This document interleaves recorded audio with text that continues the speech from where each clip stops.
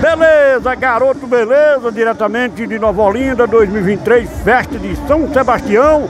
E tá começando a chegar o público, tá começando a chegar o público. Já deu uma chuvinha, a Rádio Timão na Web tá presente, aqui na festa de São Sebastião 2023. E quem tá comigo agora é o Dino Araújo, é o presidente da Câmara. E a gente vai falar aqui da expectativa dessa grande festa, com direito a acesso, Antônio Marco, os artistas da terra e muita chuva, né Dino? Boa noite, garoto, beleza? Boa noite, garoto, beleza?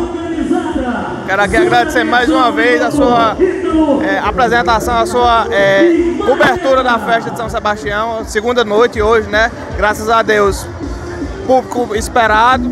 Eles esperam um pouco mais, choveu um pouco mais cedo, mas a gente espera que vai aumentar. Daqui a pouco o César entra no palco. Lembrando que ainda temos a última noite com a atração do momento, Guinho Lulinha e Michel Andrade.